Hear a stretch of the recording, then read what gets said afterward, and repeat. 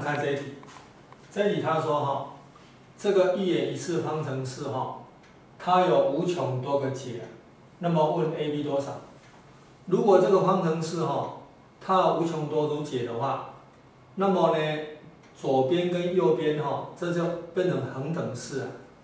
这一边跟这一边要完全一样啊，就是说这边的话哈，这里这个的话哈。这边是十 x 加七嘛，那这边也要是十 x 加七啊。哦，十 x 加七等于十 x 加七的话，那么你 x 无论你带什么数字下去的话，这个式子都是成立的。那所以 x 它就会有无穷多个解，也就是说这个就是恒等式啊。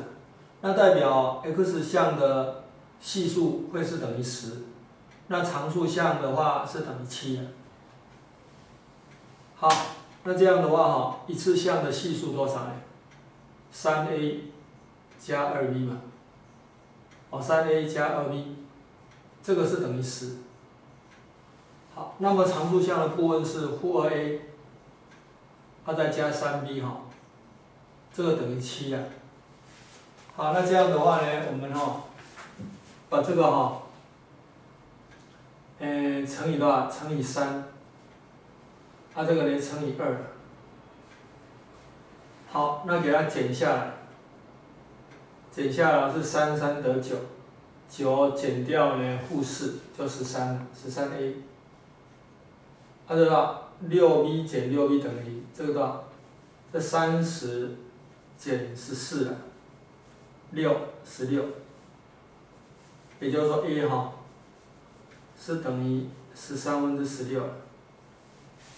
那 b 呢？b 就随便带一个，二 b 等于十减三 a，是三分之十六，所以这样等于多少？十三分之一百三，哦，十三乘以是一百三嘛，减掉多少？三六十八，四十八，这个是二，哎，八十二。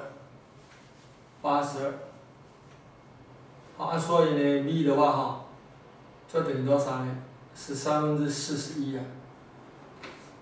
好，那这样我就晓得哈，a、b 数对等于多少呢？a 是十三分之十六，b 的话是十三分之四十一。